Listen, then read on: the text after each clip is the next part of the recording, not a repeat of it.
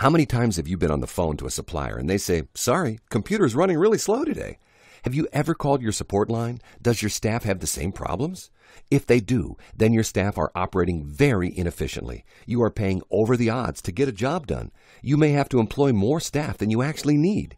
If you want to understand why your computers, servers, network, and internet connections run slowly and inefficiently, pick up the phone and give us a call. We can diagnose what's going on and suggest the right tools to monitor and maintain the computer systems your business uses.